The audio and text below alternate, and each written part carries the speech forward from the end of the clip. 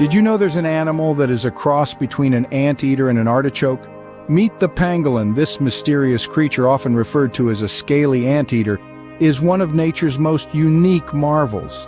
With a body covered in tough overlapping scales and a tongue that's longer than its body, the pangolin is a sight to behold.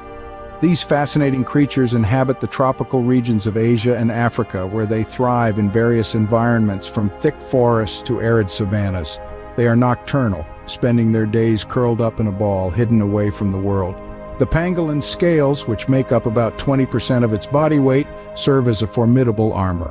When threatened, a pangolin will roll into a virtually impenetrable ball, a defense mechanism that's as effective as it is mesmerizing. So what makes pangolins so special, you might wonder? Hold on to your seats. You're about to find out. Despite their charming and unusual appearance, pangolins hold an unfortunate title. They're the most trafficked mammal in the world. These small, scaled creatures are constantly under threat, hunted and captured for a variety of reasons. Primarily, their scales are highly coveted in certain cultures for their supposed medicinal properties. Despite there being no scientific evidence to support these claims, the demand for pangolin scales remains high. Their meat, too, is a sought-after commodity.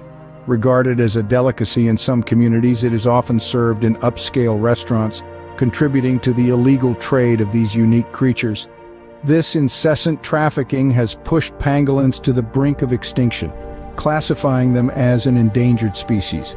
In the face of such adversity, it's easy to feel disheartened. However, remember that understanding the problem is the first step towards making a change. The plight of the pangolin is severe, but it's not all doom and gloom.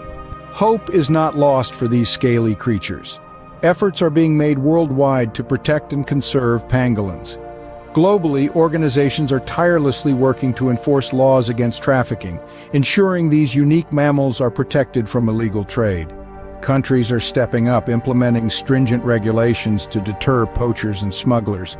In many regions, rehabilitation centers have sprung up, providing a safe haven for rescued pangolins.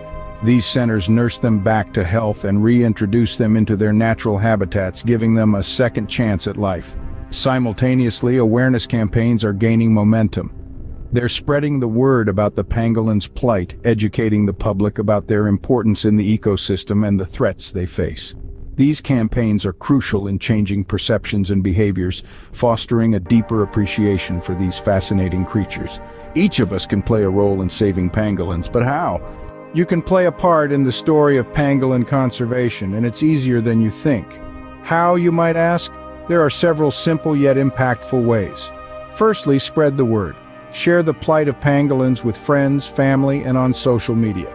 The more people know about this issue, the more we can rally together for change. Secondly, support conservation organizations. These groups work tirelessly to protect pangolins and their habitats. Your donations, no matter how small, can make a big difference. Lastly, advocate for stronger wildlife protection laws. Write to your local representatives, sign petitions, or participate in peaceful demonstrations.